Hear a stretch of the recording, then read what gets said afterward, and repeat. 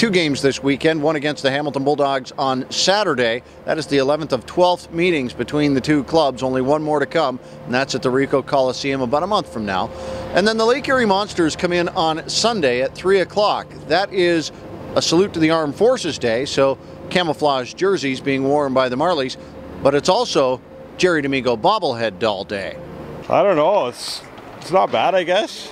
Flow's a little off, I think. He doesn't have this nice of hair, I don't think. But I'm pretty excited.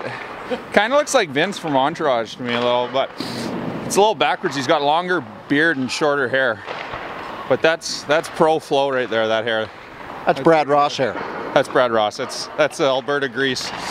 So this one doesn't talk that much, so I guess that's all right then.